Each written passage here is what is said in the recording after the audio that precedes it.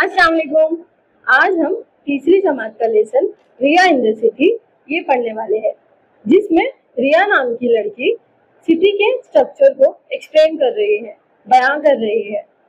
NEP 2020 के ज़रिए तलबा इस नजम से क्या क्या सीखेंगे, आइए हम देखते हैं। तलबा इस लेसन से सिटी के स्ट्रक्चर के बारे में जानेंगे। उसी के साथ अलग अलग व्हीकल्स और रिसोर्सेज जो सिटी में मौजूद है, उसको अंग्रेज़ी में और उर्दू में क्या कहते हैं, ये भी सीखेंगे।